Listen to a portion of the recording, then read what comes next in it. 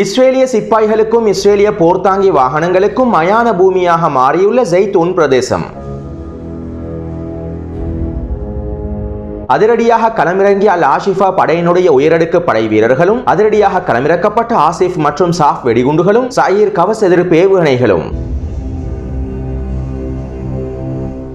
பலஸ்தீனிய மக்களை இனப்படுகொலை செய்வதற்காக இஸ்ரேலிய ஆக்கிரமிப்பினால் வீசப்பட்ட அமெரிக்காவினுடைய எஃப் சிக்ஸ்டீன் ஏவுகணை குண்டுகளை வைத்து இஸ்ரேலிய படைகளை கொத்து கொத்தாக தட்டி தூக்கி அல் குதிஸ் படையினர். தற்காலிக யுத்த நிறுத்தத்திற்காக பிச்சை எடுக்கும் நெட்டன்யாகு. யமன் ஹவுதி இராணுவத்தின் தரமான விருந்துபசாரங்கள்.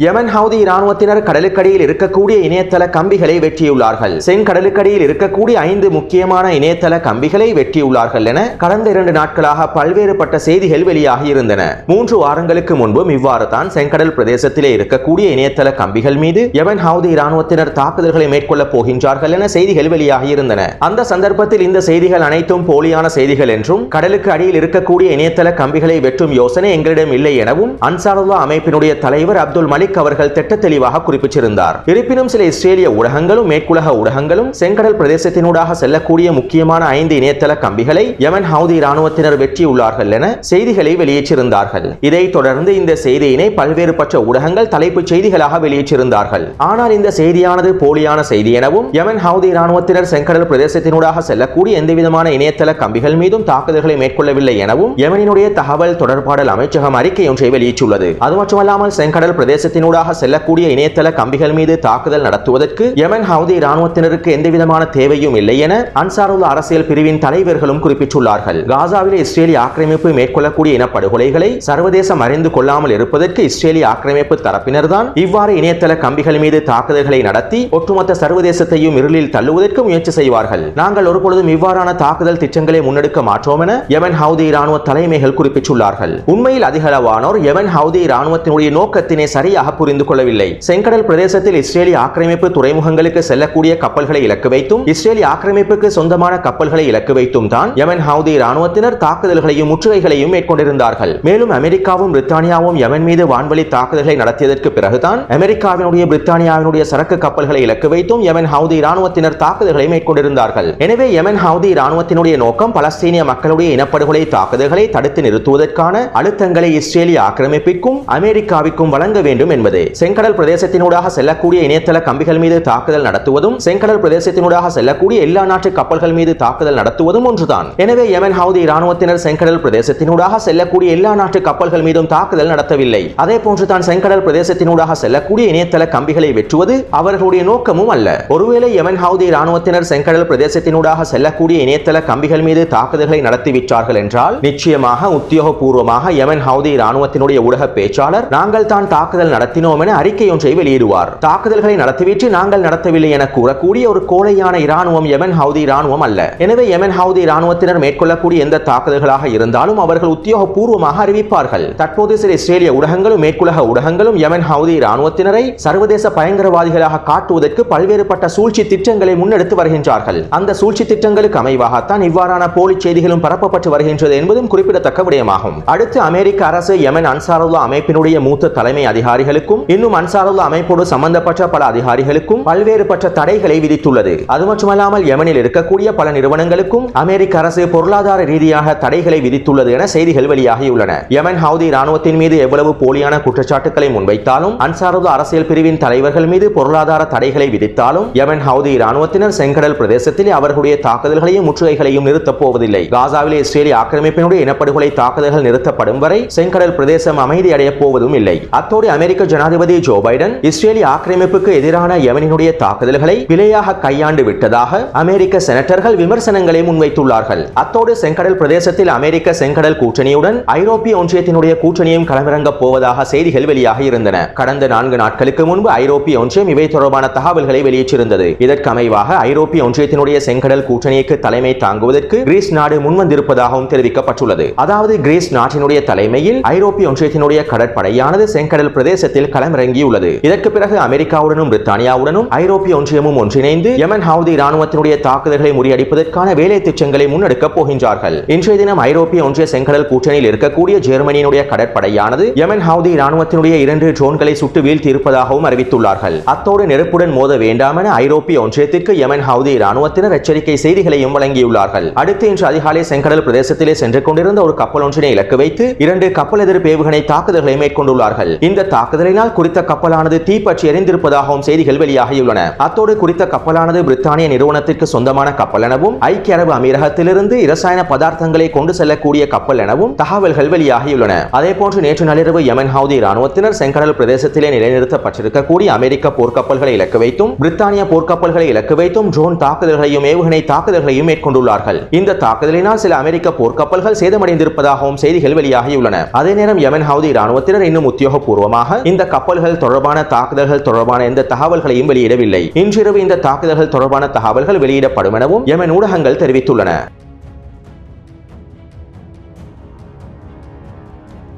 நேற்று மாலை ஹிஸ்புல்லா இராணுவத்தினர் வடக்கு இஸ்ரேலில் இருக்கக்கூடிய மெரோன் விமான கட்டளை தளத்தினை இலக்கு வைத்து அதிரடியான ஏவுகணை தாக்குதல்களை மேற்கொண்டிருந்தார்கள். இதைத் தொடர்ந்து நேற்றிரவு மீண்டும் குறித்த விமான கட்டளை தளத்தினை இலக்கு வைத்து அதிரடியான கவசெதிர்ப்பு ஏவுகணை தாக்குதல்களையும் மேற்கொண்டுள்ளார்கள். கிட்டத்தட்ட பத்திற்கும் அதிகமான கவசெதிர்ப்பு ஏவுகணை தாக்குதல்கள் மேற்கொள்ளப்பட்டிருப்பதாகவும் தெரிவிக்கப்படுகின்றது. ஹிஸ்புல்லா இராணுவத்தினுடைய இந்த அதிரடியான தாக்குதல்களினால் குறித்த மெரோன் கட்டளை தளமானது முழுமையாக முடக்கப்பட்டிருப்பதாகவும் குறிப்பிடப்படுகின்றது. மேலும் நேற்றிரவு ஹிஸ்புல்லா இராணுவத்தினர் அதிரடியாக மூன்று இஸ்ரேலிய இராணுவ தளங்களை இலக்கு வைத்து கவசெதிர்ப்பு ஏவுகணை தாக்குதல்களையும் ராக்கெட் தாக்குதல்களையும் மேற்கொண்டிருந்தார்கள். இந்த தாக்குதல்களில் ஐந்துக்கும் அதிகமான இஸ்ரேலிய சிப்பாய்கள் படுகாயமடைந்திருப்பதாகவும் தெரிவிக்கப்படுகின்றது. அதே போன்று நேற்று மாலை இஸ்ரேலிய தரப்பினர் தெற்கு லெபனான் பிரதேசத்தில் இருக்கக்கூடிய ஐந்து கிராமங்களை இலக்கு வைத்து உக்கிரமான வான்வெளி தாக்குதல்களையும் மேற்கொண்டிருந்தது. இந்த தாக்குதல்களில் எந்தவிதமான உயிர் சேதங்களும் ஏற்படவில்லை என்றும் தெரிவிக்கப்பட்டுள்ளது. அத்தோடு இன்று காலையிலேயே ஹிஸ்புல்லா இராணுவத்தினர் கிரியேட் சோமனா பிரதேசத்தை இலக்கு வைத்து அதிரடியான ராக்கெட் தாக்குதல்களையும் ஏவுகணை தாக்குதல்களையும் மேற்கொண்டுள்ளார்கள். மேலும் இன்று காலை இரண்டு இஸ்ரேலிய இராணுவ தளங்களை இலக்கு வைத்து அதிரடியான ஏவுகணை தாக்குதல்களும் கவசெதிர்ப்பு ஏவுகணை தாக்குதல்களும் மேற்கொள்ளப்பட்டிருப்பதாகவும் குறிப்பிடப்படுகின்றது. அது மட்டுமல்லாமல் இன்று மாலையும் ஹிஸ்புல்லா இராணுவத்தினர் உக்கிரமான தாக்குதல்களை மேற்கொண்டுள்ளார்கள். ஆனால் இந்த தாக்குதல்கள் தொடர்பான தகவல்கள் இன்னும் வெளியிடப்படவில்லை. தகவல்கள் முழுமையாக கிடைத்ததும் நாளைய காணொலியில் அவற்றினை குறிப்பிடுகின்றேன். அத்தோடு தெற்கு லெபனான் பிரதேசத்தில் இருக்கக்கூடிய ஹமாசனுடைய அல்கசாம் படைப்பிரிவினர் நேற்றிரவு அதிரடியான தாக்குதல் ஒன்றை மேற்கொண்டிருந்தார்கள். வடக்கு இஸ்ரேலில் இருக்கக்கூடிய எழுநூற்றி அறுபத்தி ஒன்பதாவது கேம் கைஃபர் மற்றும் ஹிலாலில் விமான நிலைய முகாம்களை இலக்கு வைத்து அதிரடியான ரொக்கெட் தாக்குதல்களையும் ஏவுகணை தாக்குதல்களையும் மேற்கொண்டுள்ளார்கள். இந்த தாக்குதலில் குறித்த தளமானது முழுமையாக சேதமடைந்துள்ளது. அது மட்டுமல்லாமல் இந்த தாக்குதலினால் நான்கு இஸ்ரேலிய சிப்பாய்கள் படுகாயமடைந்திருப்பதாகவும் அவர்கள் ஹைஃபா பிரதேசத்தினுடைய ரம்பம் வைத்தியசாலையில் அனுமதிக்கப்பட்டிருப்பதாகவும் இஸ்ரேலிய ஊடகங்கள் குறிப்பிட்டுள்ளன.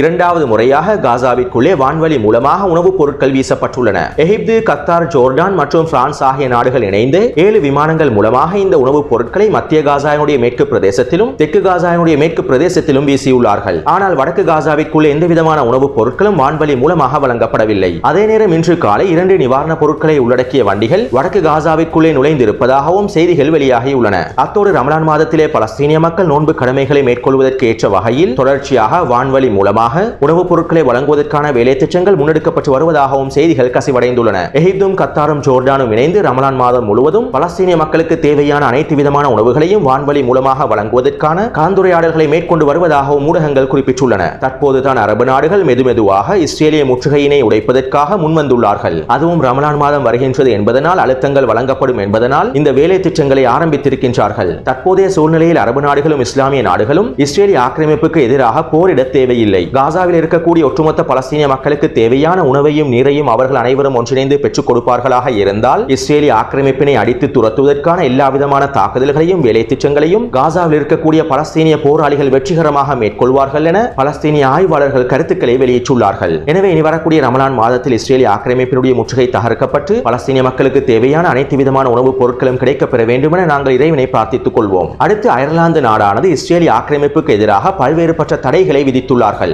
இஸ்ரேலிய நிறுவனங்களுக்கு எதிராக பொருளாதார தடைகளையும் இன்னும் பல்வேறுபட்ட முறைகளில் எவ்வாறான தடைகளை எல்லாம் விதிக்க முடியுமோ அனைத்து தடைகளையும் இஸ்ரேலிய ஆக்கிரமிப்பு நிறுவனங்கள் மீதும் இஸ்ரேலிய ஆக்கிரமிப்பின் மீதும் அயர்லாந்து நாடு விதித்துள்ளது. அது மட்டுமல்லாமல் இஸ்ரேலிய ஆக்கிரமிப்புக்கு ஆயுதங்களை ஏற்றுமதி செய்யக்கூடிய நிறுவனங்களுக்கு எதிராகவும் சர்வதேச ரீதியில் வழக்கு விசாரணைகளை ஆரம்பிப்பதற்கும் அயர்லாந்து அரசு முன்வந்துள்ளது. உண்மையிலேயே அயர்லாந்து அரசினுடைய இந்த வேலை திட்டங்கள் பாராட்டப்படக்கூடியதாகும். அடுத்து இஸ்ரேலிய ஆக்கிரமிப்பு இன்று காலையிலிருந்தும் காசா முழுவதும் முக்கியமான வான்வழி தாக்குதல்களை மேற்கொண்டு வருகின்றது. காசாவினுடைய ஜைத்தூன் பிரதேசத்தை இலக்கு வைத்தும் ஜபலியா காசாவினுடைய கிழக்கு பிரதேசத்தினை இலக்கு வைத்து முக்கியமான தாக்குதல்கள் மேற்கொள்ளப்பட்டுள்ளன. அதே போன்று மத்திய காசாவினுடைய தேரல்பலா நுஷத் முகாம் ஆகிய கடற்கரை பிரதேசங்களையும் தெற்கு காசாவினுடைய கான்யூனிஸ் மற்றும் ரஃபாவினுடைய கிழக்கு மேற்கு பிரதேசங்களை இலக்கு வைத்தும் முக்கியமான வான்வழி தாக்குதல்கள் மேற்கொள்ளப்பட்டுள்ளன. இந்த தாக்குதல்களினால் கடந்த இருபத்தி நான்கு மணித்தியாலத்திற்குள் மாத்திரம் தொன்னூற்றி மூன்று பேர் கொல்லப்பட்டுள்ளார்கள். மேலும் நூற்றி இருபத்தி ஆறு பேர் படுகாயமடைந்திருப்பதாகவும் காசாவினுடைய சுகாதாரத்துறை அமைச்சகம் தெரிவித்துள்ளது.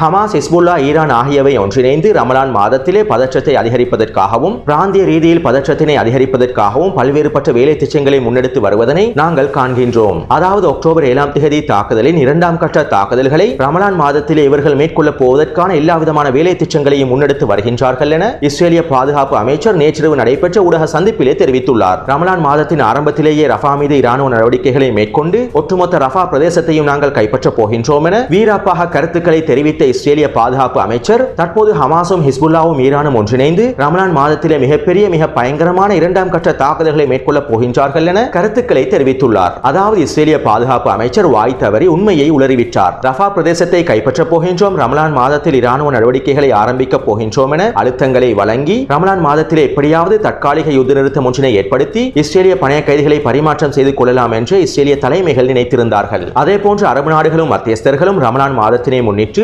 எப்படியாவது யுத்த நிறுத்தம் ஒன்றினை ஏற்படுத்திவிட வேண்டும் என ஹமாஸ் தரப்பினருக்கு அழுத்தங்களையும் வழங்கியிருந்தார்கள். இதனை தமக்கு சாதகமாக பயன்படுத்திக் கொள்வதற்காகவும் இஸ்ரேலிய தரப்பினர் பல்வேறுபட்ட முயற்சிகளையும் மேற்கொண்டிருந்தார்கள். ஆனால் தற்போது அவர்களுடைய திட்டங்களும் சூழ்ச்சிகளும் தோல்வி அடைந்துள்ளன. எங்களுடைய அடிப்படை நிபந்தனைகளுக்கு கட்டுப்படாமல் எந்தவிதமான பணைய கைதிகளுடைய பரிமாற்ற ஒப்பந்தங்களும் மேற்கொள்ளப்படாது என ஹமாஸினுடைய தலைமைகள் திட்ட தெளிவாக அறிவித்துவிட்டார்கள். அதே போன்று இன்றைய தினம் பிஐஜே இராணுவ அரசியல் பணியகத்தின் உறுப்பினர் இஹ்சான் அத்தாயா அவர்கள் அல் மாயாதின் ஊடகத்திடம் இவ்வாறு தெரிவித்துள்ளார். இரண்டாவது பாரிஸ் ஒப்பந்த திட்டம் அதனுடைய முன்னோடியை விட மிக மோசமாக உள்ளது. இந்த பாரிஸ் ஒப்பந்தம் தொடர்பான எங்களுடைய கருத்துக்களை தெரிவிப்பதற்கு முன்பே அவை தொடர்பான தகவல்களை வெளியிட்டு பலஸ்தீனிய மக்களை பலஸ்தீனிய போராளிகளுக்கு எதிராக திருப்பி விடுவதற்கான முயற்சிகளை அவர்கள் மேற்கொண்டிருந்தார்கள். பலஸ்தீனிய மக்களிடத்தில் குழப்பங்களை ஏற்படுத்தி பலஸ்தீனிய போராளிகளுக்கு எதிராக அவர்களை திருப்பி விடுவதற்கான எல்லா விதமான சூழ்ச்சிகளையும் மேற்கொண்டிருந்தார்கள். ரமலான் மாதத்திற்கு முன்பு ஒரு தற்காலிக யுத்த நிறுத்தம் ஒன்றினை ஏற்படுத்துவதற்கான எல்லா விதமான அழுத்தங்களையும் வழங்கியிருந்தார்கள். காசாயினுடைய யுத்த களத்தில் அடைந்து கொள்ள முடியாத வெற்றியினை வேறு வழிகளில் பெற்றுக் கொள்வதற்காக ஏமாற்ற நடவடிக்கைகளிலும் மேற்கொண்டிருந்தார்கள். ஆனால் நாங்கள் ஒரு பொழுதும் இந்த சூழ்ச்சிகளுக்கு அடிப்பணிய போவதில்லை என அவர் அல் மாயாதின் ஊடகத்திடம் தெரிவித்துள்ளார். உண்மையிலேயே இஸ்ரேலிய ஆக்கிரமிப்பு தலைமைகள் ரமலான் மாதத்திற்கு பயந்துள்ளார்கள். இந்த பேச்சுவார்த்தை ஒப்பந்தங்கள் தோல்வியில் முடிவடைந்தால் ரமலான் மாதத்திலே ரஃபா மீதான இராணுவ நடவடிக்கைகளை ஆரம்பிக்க வேண்டி ஏற்படும். அவ்வாறு ரஃபா பிரதேசத்தின் மீது இராணுவ நடவடிக்கைகளை ஆரம்பித்தால் இஸ்புல்லா இராணுவத்தினரும் யமன் ஹவுதி இராணுவத்தினரும் அவர்கள் அடுத்த கட்ட தாக்குதல்களை ஆரம்பித்து விடுவார்கள். ஒட்டுமொத்த பிராந்தியமும் ரமலான் மாதத்தில் பற்றி எறியக்கூடிய சூழ்நிலைக்கு உள்ளாக்கப்படும். சர்வதேச சமன்பாடுகளிலும் மாற்றங்கள் ஏற்படும். இந்த பயத்தினால் தான் இஸ்ரேலிய ஆக்கிரமிப்பு மாயைகளை வெளிப்படுத்தி நாடகங்களை வெளிப்படுத்தி சூழ்ச்சிகளை மேற்கொள்வதற்கு முயற்சி செய்து வருகின்றார்கள். இன்னும் ஒரு விதத்தில் இதனை குறிப்பிடுவதாக இருந்தால் தற்காலிக யுத்த நிறுத்த ஒப்பந்தம் ஒன்றினை மேற்கொள்வதற்காக நெட்டன்யாகு பிச்சை எடுத்துக் கொண்டிருக்கின்றார். தன்னுடைய நாட்காலியினை பாதுகாத்துக் கொள்வதற்காக அரசியல் இலாபங்களை பாதுகாத்துக் கொள்வதற்காக நெட்டன்யாகு பிச்சை எடுத்துக் கொண்டிருக்கின்றார்.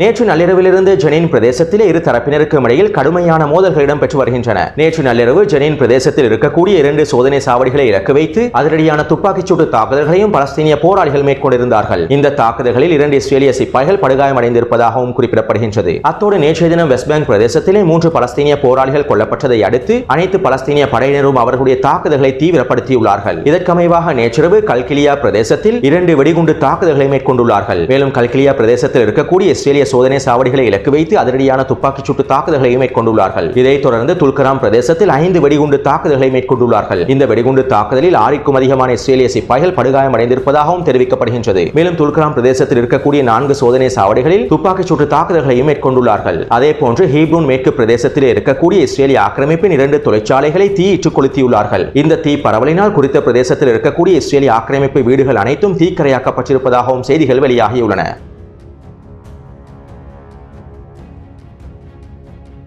வடக்கு காசாவின் ஜெய்தூன் பிரதேசத்தில் இருக்கக்கூடிய எதிர்ப்பு தலைவர் ஒருவர் அல் மாயாதீன் ஊடகத்தின் செயற்கைக்கோள் தளத்திடம் சில கருத்துக்களை முன்வைத்துள்ளார். அனைத்து பிரிவுகளையும் சேர்ந்த எங்களுடைய போராளிகள் இன்னும் தங்களுடைய போர் நிலைகளில் இருந்து கொண்டு தயாரிக்கப்பட்ட திட்டங்களுக்கு அடிப்படையாக தமது பணிகளை சிறப்பாக மேற்கொண்டு வருகின்றார்கள். ஜெய்தூன் பிரதேசத்தினுடைய தௌலா மற்றும் அல் சிக்கா தெருக்கள் மெர்காவா போர் தாங்கி வாகனங்களுக்கு மயானமாக மாறிவிட்டது. பல டசன் கணக்கான சேதமடைந்த மெர்காவா போர் தாங்கி வாகனங்கள் குறித்த தெருக்களில் நிலைநிறுத்தப்பட்டுள்ளன. இவற்றினை இஸ்ரேலிய ஆக்கிரமிப்பினால் மீள கொண்டு செல்ல முடியாத நிலைமையும் ஏற்பட்டுள்ளது. மேலும் ஆக்கிரமிப்பு சிப்பாய்களிடத்தில் குழப்பமும் அதிகரித்துள்ளன. எந்த பகுதியிலிருந்து எவ்வாறு தாக்குதல் நடத்துவது என்று கூட தெரியாமல் இஸ்ரேலிய ஆக்கிரமிப்பு சிப்பாய்கள் சிக்கி தவித்துக் கொண்டிருக்கின்றார்கள். ஒவ்வொரு நாளும் கொல்லப்பட்ட காயமடைந்த இஸ்ரேலிய ஆக்கிரமிப்பு சிப்பாய்களை அழைத்துக் கொண்டு செல்வதற்கு பல ஹெலிகாப்டர்கள் தரையிறங்குகின்றன. மேலும் எங்களுடைய போராளிகள் தொடர்ச்சியாகவும் சிறப்பாகவும் தாக்குதல்களை மேற்கொண்டு வருகின்றார்கள் எனவும் அல் மாயாதீன் உலகத்தின் செயற்கைக்கோள் தளத்திடம் குறிப்பிட்டுள்ளார். எல்லா பலஸ்தீனிய பிரிவினதும் உயரடுக்கு படை வீரர்கள் களமிறங்கி கடந்த ஒரு வாரத்துக்கு மேலாக தொடர்ச்சியான தரமான தாக்குதல்களை மேற்கொண்டு வருகின்றார்கள்.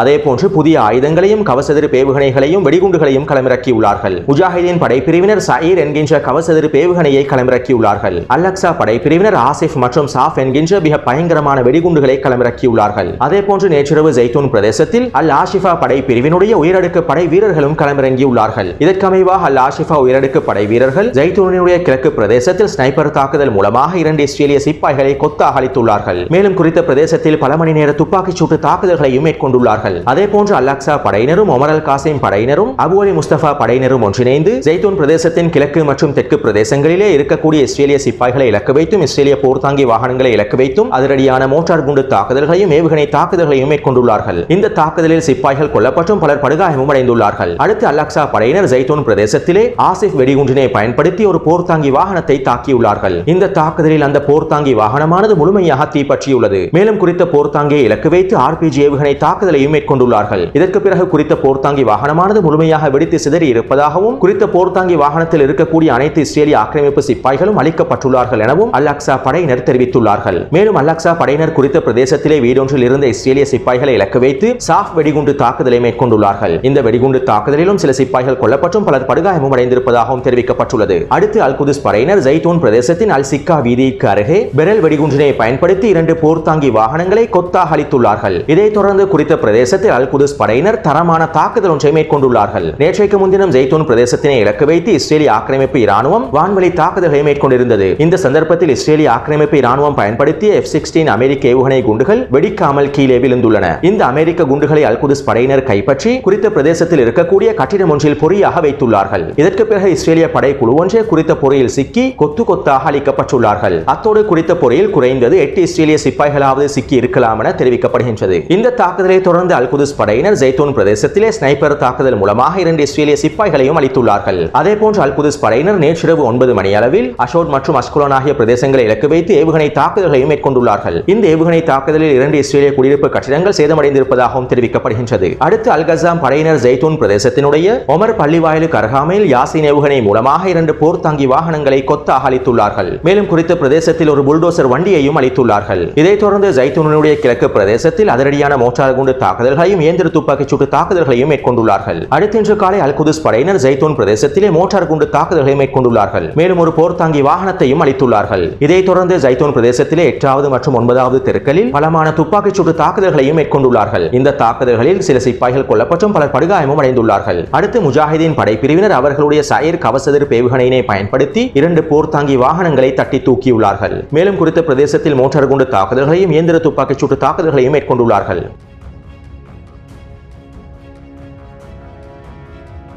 தெற்கு காசாவின் கான்யூனஸ் மேற்கு பிரதேசத்திலும் கிழக்கு பிரதேசத்திலும் முக்கியமான தாக்குதல்களை பலஸ்தீனிய போராளிகள் மேற்கொண்டு வருகின்றார்கள். இதற்கமைவாக அல்கசாம் போராளிகள் கான்யூனஸ் நகருக்கு அருகாமையில் யாசின் ஏவுகணை மூலமாக இரண்டு போர்த்தாங்கி வாகனங்களை அளித்துள்ளார்கள் மேலும் குறித்த பிரதேசத்திலே வீடொன்றில் இருந்த இஸ்ரேலிய சிப்பாய்களை இலக்கு வைத்து ஆளுதற்கு ஏவுகணை தாக்குதல்களையும் யாசின் ஏவுகணை தாக்குதல்களையும் மேற்கொண்டுள்ளார்கள். இதைத் தொடர்ந்து கான்யூனஸினுடைய கிழக்கு பிரதேசமான அபசன் அல் காபிரா பிரதேசத்தில் பொறி வைத்து ஒரு தரமான தாக்குதல் ஒன்றை மேற்கொண்டுள்ளார்கள். குறித்த பிரதேசத்தில் இருக்கக்கூடிய கட்டிடம் ஒன்றில் தான் இந்த பொறியினை வைத்துள்ளார்கள். இந்த பொறியிலே பல இஸ்ரேலிய சிப்பாய்கள் சிக்கி அளிக்கப்பட்டிருப்பதாகவும் தெரிவிக்கப்படுகின்றது. மேலும் குறித்த பிரதேசத்தில் இரண்டு ஷவாஸ் வெடிகுண்டினை பயன்படுத்தி இரண்டு ட்ரூப்ஸ் கெரியர் வாகனங்களையும் அளித்துள்ளார்கள். இதைத் தொடர்ந்து மேற்கு கானியூன்ஸின் மஷூரா தெருவில் யாசின் ஏவுகணை மூலமாக இரண்டு போர்த்தாங்கி வாகனங்களையும் அளித்துள்ளார்கள். அடுத்து அல் குதுஸ் படையினர் மேற்கு கானியூன்ஸினுடைய அல் ஷாஃபி பள்ளிவாயலுக்கு அருகாமையில் மேற்கொண்ட துப்பாக்கிச் சூட்டு தாக்குதலில் நான்கு இஸ்ரேலிய சிப்பாய்களை பூஜ்ய தூரத்தில் அளித்துள்ளார்கள். மேலும் குறித்த பிரதேசத்தில் யாசின் ஏவுகணை மூலமாக இரண்டு போர்த்தாங்கி வாகனங்களையும் ஒரு ட்ரூப்ஸ் கெரியர் வண்டியையும் அளித்துள்ளார்கள். அதே போன்று அபு அலி முஸ்தபா படையினரும் அல் காசிம் படையினரும் அல் அக்ஸா படையினரும் ஒன்று ஒன்றிணைந்து கான்யூனிஸினுடைய மேற்கு பிரதேசத்திலும் கிழக்கு பிரதேசத்திலும் இருக்கக்கூடிய இஸ்ரேலிய சிப்பாய்களையும் இஸ்ரேலிய போர் வாகனங்களையும் இலக்கு வைத்து அதிரடியான மோட்டார் குண்டு தாக்குதல்களையும் ஏவுகணை தாக்குதல்களையும் மேற்கொண்டுள்ளார்கள். மேலும் கான்யூனிஸினுடைய கிழக்கு பிரதேசத்திலே கட்டிடம் ஒன்றினை இலக்கு வைத்து அதிரடியான ஏவுகணை தாக்குதலையும் மேற்கொண்டுள்ளார்கள். இந்த கட்டிடத்தில் இருந்த நான்கு இஸ்ரேலிய சிப்பாய்களும் கொல்லப்பட்டுள்ளார்கள். இவ்வாறு ஏவுகணை தாக்குதலினால் நான்கு இஸ்ரேலிய சிப்பாய்கள் கொல்லப்பட்டுள்ளார்கள் என்பதனை